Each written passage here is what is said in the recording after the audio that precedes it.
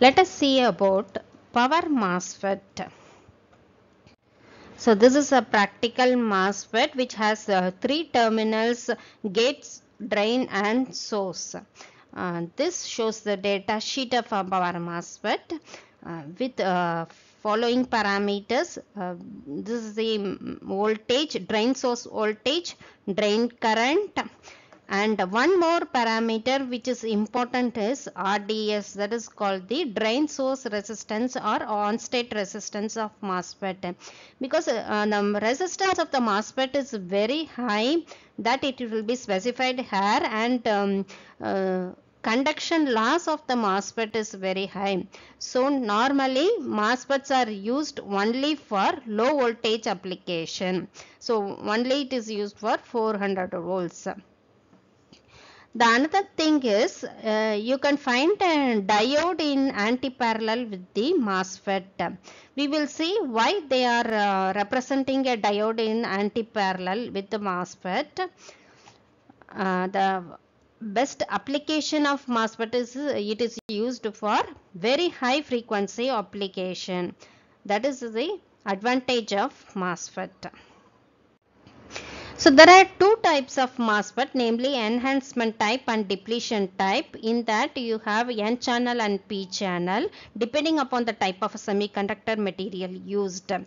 So this is a N channel MOSFET and this is a P channel one. You, you can see that the gate terminal in a MOSFET will be insulated from the rest of the device. So there will be a gap here and again this is a drain terminal this is a source terminal and the center part is called the body of the MOSFET and that will be shorted to the source.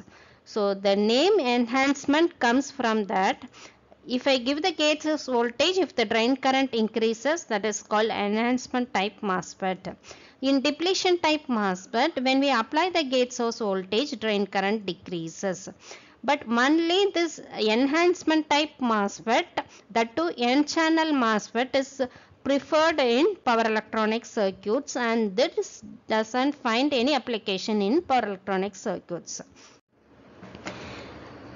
MOSFET it is a unipolar device meaning that the current flow is due to only majority carriers.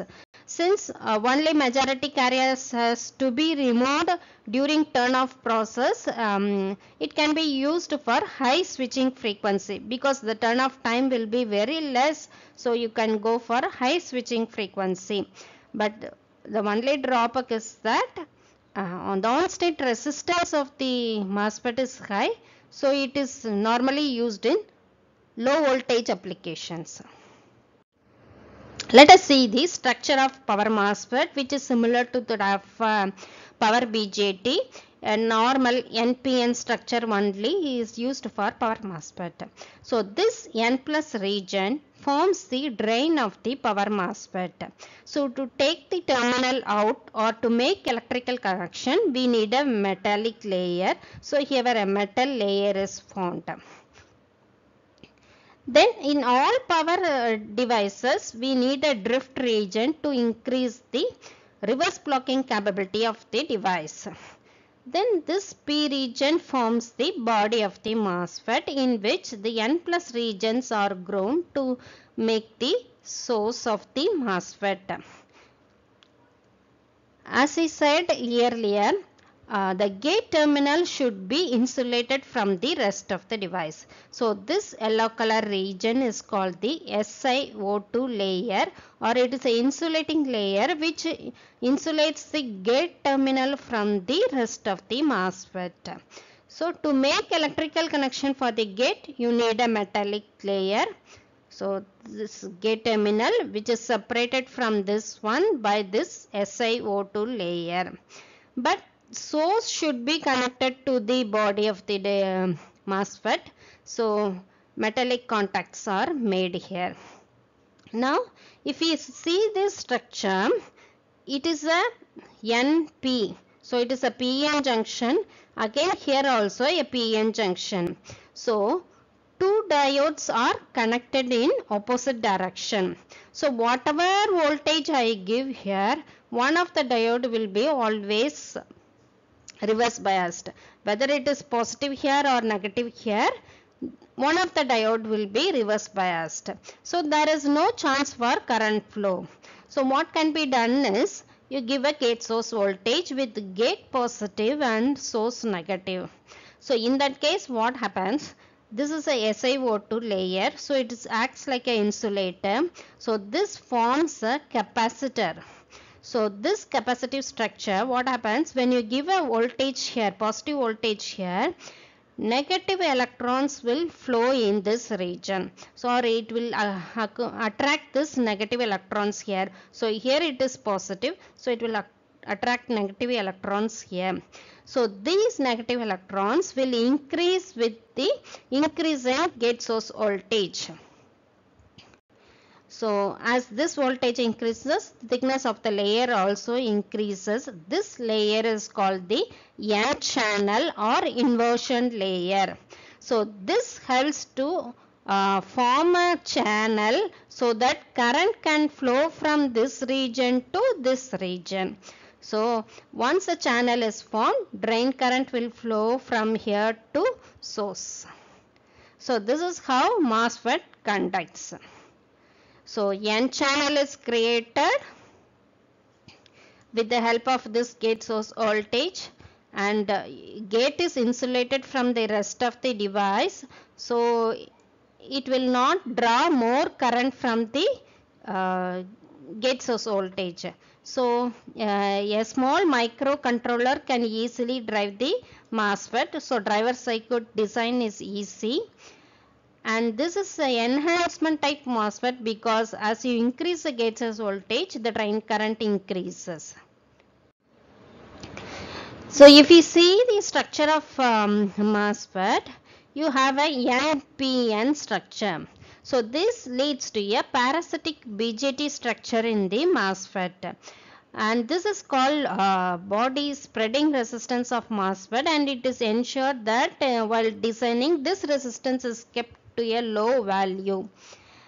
And um, this uh, part the emitter and base will be shorted. So that uh, the BJT will always remain in cutoff state. And the remaining junction this base collector junction will be there which uh, uh which is like a PN junction or it is uh, like a diode PN junction diode. So this is represented here. So P and N. So in source side you have the anode and um, in drain side you have the cathode. So it will be represented here. Actually drain current flows from drain to source but this is in opposite direction so it is called an anti-parallel diode or body diode. So uh, when the MOSFET conducts it carry current from drain to source but in some application when the MOSFET is off, this body diode can carry the full current in the opposite direction. But the problem with this uh, body diode is that the device will not be able to block the reverse voltage because uh, uh, either this conducts or this conducts so it cannot block the reverse voltage. So let us see about the transfer characteristics which is drawn between the drain current and the gate source voltage. So till um, gate, threshold voltage there will be no drain current because till uh, threshold voltage N channel will not be created. After that only N channel starts to build up. So uh, if you increase uh, gate source voltage drain current will increase continuously. So till this threshold voltage device will be in off state. So next is the output characteristics of the MOSFET drawn between the output current and the drain source voltage and the curve is drawn for different uh, gate source voltage. So this is uh, similar to that of um, BJT except that here you have a base current in BJT. So it is called um, current control device. But in MOSFET gate source voltage controls the output current. So it is called a voltage control device. Similar to BJT, it has three regions cutoff region, active region and ohmic region.